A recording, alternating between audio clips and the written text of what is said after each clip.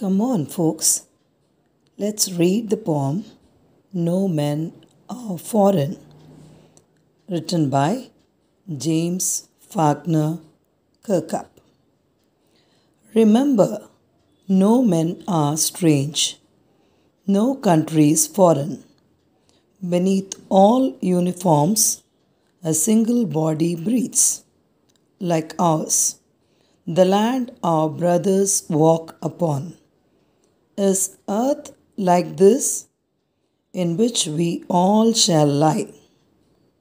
They too, aware of sun and air and water, are fed by peaceful harvests, by war's long winter stopped. Their hands are ours, and in their lines we read, a labor not different from our own. Remember, they have eyes like ours that wake or sleep, and strength that can be won by love. In every land is common life that all can recognize and understand.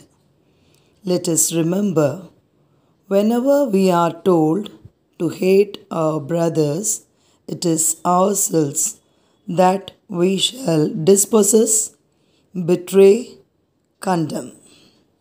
Remember, we who take arms against each other, it is the human earth that we defile.